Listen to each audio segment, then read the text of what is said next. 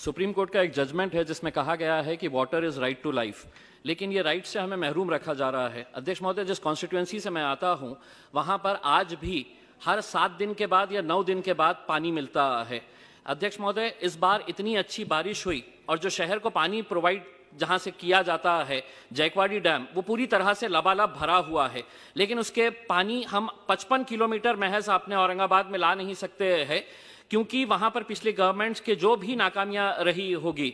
आज वो गेट्स खोलकर पानी को बहाया जा रहा है, लेकिन हमारे पास पाँच दिन, सात दिन के बाद ये बारिश पानी मिल रहा है। अब सरकार ने एक 1680 करोड़ रुपए की एक स्कीम की घोषणा की है मैं अभी तक इंतज़ार कर रहा था कि जल शक्ति मंत्री यहाँ पर बैठे हुए थे कि आप मेरा नाम नहीं पुकारे, लेकिन वो उठ के चले गए हैं। मैं आपके माध्यम से ये अनुरोध करना चाहूँगा कि सत्तर सालों के बाद भी अगर सात दिन और नौ दिन के बाद पानी मिल रहा है तो सरकार ने ये वादा किया है कि हर घर जल